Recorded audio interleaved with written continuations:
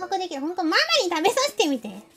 ママにちょっとあげてみるか。ちょ、ちょっと待ってて。ちょいとお待ちよじゃあ、この、それまでこれ見てて。この、ここのやつを。ちょっと待って、マミ呼んできた。こんばんは。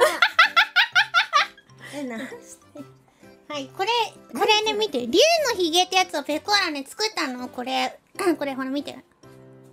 これね、これ、すしてるひげ。知らない。これね、ちょっとね、あ、じゃあまずこの失敗作からちょっと食べて。なんかこれお腹壊さない？大丈夫、大丈夫。一回これ、あ、でもこれ、中身ハイチュウね。これハイチュウ、そう、ハイチュウを本、当に食べていいの？大丈夫、大丈夫、大丈夫。あ、マミ、こんばんは、だって。こんばんは。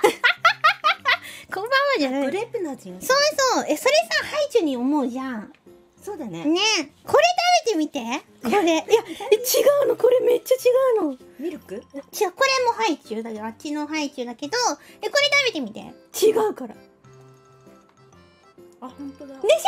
何何これ？え、これね、えだから竜のひげっつってこれ伸ばしたの。これでブーって伸ばして、1万6000本のひげをペコーラが作ったわけよ。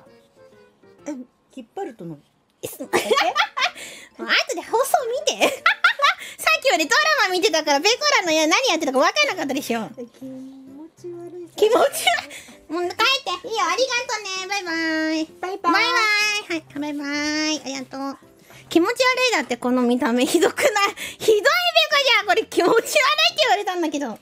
竜のひげを気持ち悪いとどういうことペコだよな。